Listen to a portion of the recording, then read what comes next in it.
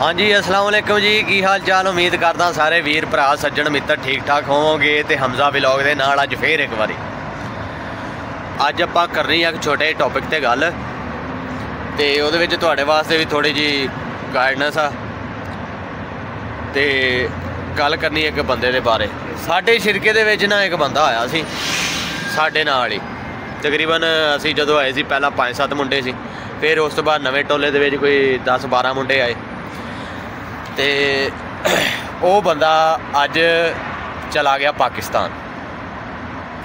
ਉਹ ਕਿਉਂ ਗਿਆ? ਉਹ ਕਿੱਦਾਂ ਗਿਆ?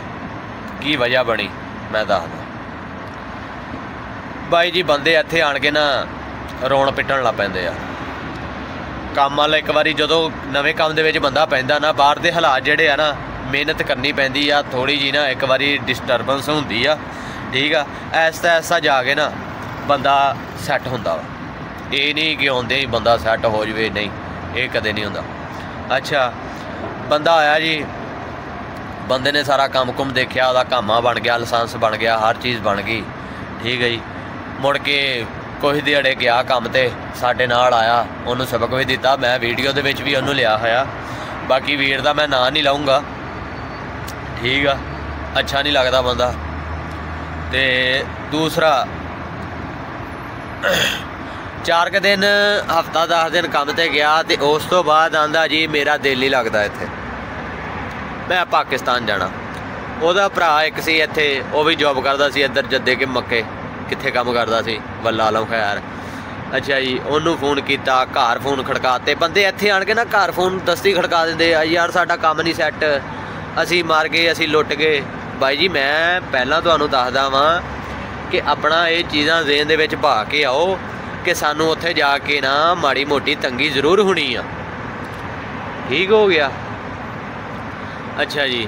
ਉਸ ਬੰਦੇ ਨੇ ਰੁਪਿਆ 7-8 ਲੱਖ 7-8 ਲੱਖ ਲਾ ਕੇ ਤੇ ਅਸੀਂ ਵੀ ਆਏ ਆ। ਹਰ ਬੰਦਾ ਇੱਕ ਬੰਦਾ ਉਹ, ਅਜਮਲ ਭਾਈ ਸਾਡੇ ਨਾਲ ਹੁੰਦਾ ਉਹ 10 ਲੱਖ ਰੁਪਿਆ ਲਾ ਕੇ ਆਇਆ ਕੋਈ 8 ਲੱਖ ਲਾ ਕੇ ਆਇਆ ਕੋਈ 7 ਲੱਖ ਲਾ ਕੇ ਆਇਆ ਕੋਈ 9 ਲੱਖ ਲਾ ਕੇ ਆਇਆ। ਠੀਕ ਹੈ ਜੀ। ਕੰਮ ਜਿਹੜਾ ਆ ਨਾ ਹੋ ਜਾਂਦਾ ਵਾ। ਲੇਕਿਨ ਥੋੜਾ ਜਿਹਾ ਬੰਦੇ ਦੇ ਵਿੱਚ ਸਬਰ ਵੀ ਹੋਣਾ ਚਾਹੀਦਾ। ਅੱਛਾ ਜੀ, ਬੰਦਾ ਚਲਾ ਗਿਆ। ਬੰਦਾ ਰੁਪਿਆ 7-8 ਲੱਖ ਲਾ ਕੇ ਆਇਆ। ਉਸ ਤੋਂ ਬਾਅਦ ਘਰ ਫੋਨ ਖੜਕਾਤਾ, ਮੇਰਾ ਦਿਲ ਨਹੀਂ ਲੱਗਦਾ ਜੀ ਭਰਾ ਨੂੰ। ਮੇਰਾ ਦਿਲ ਨਹੀਂ ਲੱਗਦਾ। ਫਲਾਂ ਹੋ ਗਿਆ ਟਮਕਾਣ ਹੋ ਗਿਆ। ਕੰਮ ਠੀਕ ਨਹੀਂ ਇਹ ਆ ਉਹ ਆ, ਫਲਾਵਾ ਠੀਕ ਆ। ਅਸੀਂ ਵੀ ਯਾਰ ਤੁਹਾਡੇ ਸਾਹਮਣੇ ਕੰਮ ਕਰ ਰਹੇ ਆ ਅਲਹਮਦੁਲਿਲਾ।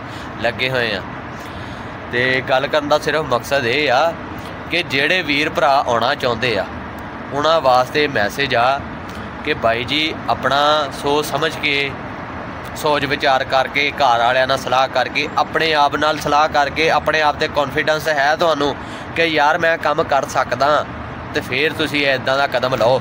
ਰੁਪਈਆ 7-8 ਲੱਖ ਲਾ ਕੇ ਤੁਸੀਂ ਆਓਗੇ, ਫਿਰ ਇੱਥੇ ਮਹੀਨੇ ਕੇ ਬਾਅਦ ਘਰ ਵਾਲਿਆਂ ਨੂੰ ਫੋਨ ਖੜਕਾ ਦੋਗੇ ਵੀ ਸਾਡਾ ਦਿਲ ਨਹੀਂ ਲੱਗਦਾ, ਸਾਨੂੰ ਵਾਪਸ ਬੁਲਾ ਲਓ।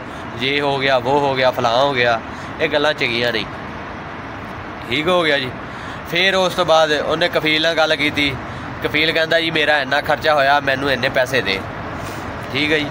ਉਹਨੇ ਕੋਈ ਪਾਕਿਸਤਾਨੀ 8-10 ਲੱਖ ਰੁਪਇਆ ਮੰਗਾ ਕੇ ਕਫੀਲ ਨੂੰ ਦੇ ਕੇ, ਜਿਹੜਾ ਉਹਦਾ ਕਾਮਾ ਲਾਇਸੈਂਸ ਜੇ ਉਹ ਸਭ ਕੁਝ, ਜੋ ਜੋ ਉਹਨੇ ਉਹਦੇ ਤੇ ਖਰਚਾ ਕੀਤਾ ਸੀ।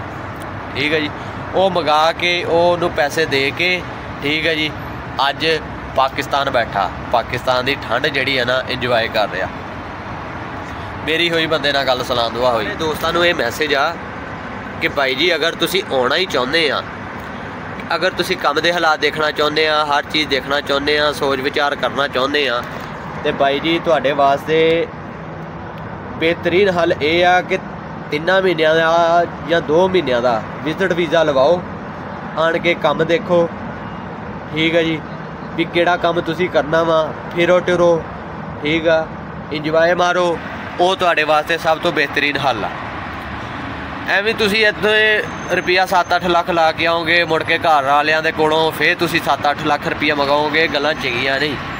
ਔਰ ਰੁਪਿਆ ਜਿਹੜਾ ਨਾ 12-14 ਲੱਖ ਘਰ ਵਾਲਿਆਂ ਦਾ ਬੇੜਾ ਕਰਕ ਕਰ ਦਿੱਤਾ। ਉਹ ਯਾਰ ਤੁਸੀਂ ਇਹ ਦੇਖੋ ਰੁਪਿਆ 12-14 ਲੱਖ ਕਮਾਉਣਾ ਸੌਖਾ। ਮੇ ਵੀ ਬੇਸ਼ੱਕ ਕੋਈ ਸ਼ੱਕ ਨਹੀਂ ਕਿ ਉਹਦਾ ਪਿਓ ਜਾਂ ਜਿਹਦਾ ਵੀ ਪਿਓ, ਠੀਕ ਆ, ਉਹ ਚੌਧਰੀ ਆ, ਜੋ ਵੀ ਆ, ਜਿੱਡਾ ਵੱਡਾ ਮਰਜ਼ੀ ਬਿਜ਼ਨਸ ਆ ਉਹਦਾ, ਠੀਕ ਹੈ ਜੀ। ਆਖਰ ਪੈਸੇ ਕਮਾਏ ਹੁੰਦੇ ਆ ਨਾ, ਮਿਹਨਤ ਲੱਗਦੀ ਆ ਹਰ ਚੀਜ਼ ਤੇ, ਹਰ ਕੰਮ ਤੇ ਪੈਸੇ ਕਮਾਉਣੇ ਕੋਈ ਕਿਹੜਾ ਕੋਈ ਸੌਖੇ ਆ, ਬਹੁਤ ਔਖੇ ਆ, ਠੀਕ ਹੈ ਜੀ। ਇਹ ਤੇ ਜਿਹੜੇ ਬਾਹਰ ਆਣ ਕੇ 35 35 ਸਾਲ 20 20 ਸਾਲ 25 25 ਸਾਲ ਲਾ ਦਿੰਦੇ ਆ ਨਾ, ਉਹਨਾਂ ਨੂੰ ਪੁੱਛੋ। ਠੀਕ ਹੈ ਜੀ।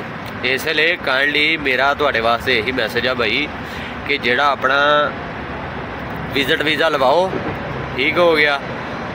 ਮਹੀਨਾ ਦੋ ਇੱਥੇ ਕੰਮ ਕਰੋ, ਮਹੀਨਾ ਦੋ ਕੰਮ ਕਰਨ ਤੋਂ ਬਾਅਦ ਆਪਣਾ ਫਿਰੋ ਟੁਰੋ ਇੰਜੋਏ ਕਰੋ, ਠੀਕ ਹੈ ਜੀ। ਮੁੜ ਕੇ ਪਾਕਿਸਤਾਨ ਚੱਲ ਜਾਓ, ਤੁਹਾਡੇ ਕੰਮ ਨਹੀਂ ਵਾਰੀ 'ਚ ਠੀਕ ਹੈ ਜੀ। ਉਹ ਤੁਹਾਡਾ ਰੁਪਿਆ 1.5 ਲੱਖ ਰੁਪਿਆ, ਲੱਖ 1.5 ਲੱਖ ਜਿੰਨਾ ਤੁਹਾਡਾ ਖਰਚਾ ਆਏਗਾ ਵਿਜ਼ਿਟ ਵੀਜ਼ੇ ਤੇ ਉਹ ਆ ਜਾਏਗਾ। ਐਵੇਂ ਜ਼ਿਆਦਾ ਬੰਦਾ ਬਹੁਤੀ ਨੂੰ ਪਿਆ ਤੋੜੀ ਤੋਂ ਵੀ ਜਾਂਦਾ ਤੇ ਇਹ ਛੋਟਾ ਜਿਹਾ ਮੈਸੇਜ ਸੀ। ਮੈਂ ਸੋਚਿਆ ਵੀ ਆਪਣੇ ਯਾਰਾਂ ਬੇਲੀਆਂ ਦੇ ਨਾਲ ਥੋੜਾ ਸ਼ੇਅਰ ਕੀਤਾ ਜਾਏ ਤੇ ਯਾਰਾਂ ਬੇਲੀਆਂ ਨੂੰ ਸਲਾਹ ਦਿੱਤੀ ਜਾਏ। ਮਤ ਦੀ ਗੱਲ ਜਿਹੜੀ ਹੈ ਨਾ, ਉਹ ਦੱਸਣੀ ਚਾਹੀਦੀ। ਕਿ ਆਪਾਂ ਕੰਮ ਤੇ ਆ ਆਰਡਰ ਲੱਗਾ ਹੋਇਆ ਆਪਾਂ ਨੂੰ ਬੈਸ਼ਵਾਰਮੇ ਦਾ 11 ਵਜੇ ਦੇ ਆਏ ਸੀ ਆਪਾਂ। ਤੇ 11:30 ਹੋ ਗਏ, ਅੱਧਾ ਘੰਟਾ ਇਹਨੇ ਲਾ ਦਿੱਤਾ ਆਰਡਰ ਤਿਆਰ ਕਰਨ ਨੂੰ। ਤੇ ਆਪਾਂ ਹੁਣ ਆਰਡਰ ਚੁੱਕ ਕੇ ਤੇ ਬਾਕੀ ਆਪਣਾ ਆਰਡਰ ਕਰਦੇ ਆ ਡਿਲੀਵਰ ਛਪਰੇ ਇੱਧਰ ਕੰਮ ਦੇ ਹਾਲਾਤ ਕੱਲ ਵੀ ਡਾਊਨ ਸੀ ਆਪਾਂ ਨਵੀਂ ਏਰੀਆ ਦੇ ਵਿੱਚ ਗਏ ਸੀ ਉੱਥੇ ਜਾ ਕੇ ਨਾ ਆਪਾਂ ਆਰਡਰ ਆਰਡਰ ਲਾਏ ਸੀ ਅੱਜ ਵੀ ਆਪਾਂ ਉੱਥੇ ਹੀ ਜਾਂਦੇ ਆ ਤੇ ਦੂਸਰਾ ਆਰਡਰ ਚੁੱਕਦੇ ਆ ਤੇ ਬਾਕੀ ਰੂਟੀਨ ਵਰਕ ਮਾਸ਼ਾਅੱਲਾ ਠੀਕ ਆ ਟਾਰਗੇਟ ਆਪਣਾ ਠੀਕ ਜਾ ਰਿਹਾ ਜਿੰਨੀ ਕਿ ਠੰਡ ਪੈਣ ਢਈ ਆ ਨਾ ਪਿੰਡਾਂ ਦੇ ਵਿੱਚ ਅਸੀਂ ਰਜਾਈਆਂ ਤੋਂ ਬਗੈਰ ਸਕੂਨ ਨਹੀਂ ਸੀ ਆਉਂਦਾ। ਇੱਥੇ ਕੰਬਲ ਤੇ ਕੰਬਲਾਂ ਦੇ ਵਿੱਚ ਭੋਰਾ ਸਵਾਦ ਨਹੀਂ ਆਉਂਦਾ। ਹੁਣ ਆਰਡਰ ਚੁੱਕਦੇ ਆ ਤੇ ਆਰਡਰ ਹਿਸਟਰੀ ਵੀ ਆਪਾਂ ਤੁਹਾਨੂੰ ਦਿਖਾ ਦਿੰਦੇ ਆ 15 16 18 ਡੇਲੀ ਦਿਖਾਈ ਦੀ ਆ। ਰੂਟੀਨ ਮਾਸ਼ਾਅੱਲਾ ਠੀਕ ਜਾ ਰਹੀ ਆ ਤੇ ਬਾਕੀ ਘਬਰਾਉਣਾ ਨਹੀਂ। ਬਾਰ-ਬਾਰ ਮੈਂ ਤੁਹਾਨੂੰ ਕਹਿੰਦਾ, ਘਬਰਾਉਣਾ ਨਹੀਂ। ਬਾਰ-ਬਾਰ ਮੈਂ ਤੁਹਾਨੂੰ ਕਹਿੰਦਾ, ਆਪਣੇ ਦਿਲ ਗੁਰਦੇ ਵੱਡੇ ਕਰਕੇ ਆਓ। ਐਵੇਂ ਹਵਾਵਾਂ ਦੇ ਵਿੱਚ ਪੈਸੇ ਨਾ ਉਡਾਓ। ਪੈਸੇ ਕਮਾਉਣੇ ਮਿੱਤਰੋ ਬਹੁਤ ਔਖੇ ਆ। ਮੇਰਾ ਇੱਕ ਐਦੀ ਸੱਜਣ ਸੀ, ਉਹਦੇ ਅੱਬੇ ਨੇ 35 ਸਾਲ ਬਾਹਰ ਲਾਏ। 35 ਸਾਲ। ਤੇ ਮੈਂ ਉਹਨੂੰ ਇਹੀ ਕਹਿੰਦਾ ਸੀ, ਪੁੱਤਰ, ਆਪਣੇ ਪਿਓ ਦੀ ਜਿਹੜੀ ਮਿਹਨਤ ਆ ਨਾ, ਉਹ ਰਾਏਗਾ ਨਾ ਕਰੀ ਠੀਕ ਆ? ਤੇ ਮੇਰਾ ਪੁੱਤਰ ਧਿਆਨ ਨਾਲ ਕੰਮ ਕਰ। ਉਹ ਇੱਥੇ ਨਹੀਂ, ਉਹ ਪਾਕਿਸਤਾਨੀ ਆ ਹਜੇ ਵੀ। ਉਹਨੇ ਵੀ ਬਾਹਰ ਆਉਣਾ। ਹੁਣ ਦੇਖੋ ਸਾਊਦੀ ਆਉਂਦਾ, ਦੁਬਈ ਆਉਂਦਾ, ਕਿੱਥੇ ਜਾਂਦਾ। ਤੇ ਬਾਕੀ ਠੀਕ ਆ ਜੀ। ਆਪਾਂ ਆਰਡਰ ਚੁੱਕਦੇ ਆ। ਅਗਰ ਵੀਡੀਓ ਤੁਹਾਨੂੰ ਪਸੰਦ ਆਈ ਆ ਤੇ ਲਾਈਕ ਕਰ ਦਿਓ ਕਮੈਂਟ ਕਰ ਦਿਓ ਤੇ ਸ਼ੇਅਰ ਕਰ ਦਿਓ ਦਬਲ ਕੇ। ਤੇ ਅਗਰ ਤੁਹਾਡਾ ਹੌਸਲਾ ਪੈਂਦਾ ਵਾ, ਤੇ ਫੇ ਵੀਜ਼ਾ ਲੈ ਕੇ ਆਇਓ। ਆ ਜਿੰਨੇ ਵੀ ਯਾਰ ਬੇਲੀ ਮੇਰੇ ਕਮੈਂਟ ਕਰਨੇ ਵਾਲੇ ਆ ਨਾ, ਉਮੀਦ ਕਰਦਾ ਸਾਰੇ ਵੀਡੀਓ ਦੇਖਣਗੇ। ਠੀਕ ਆ?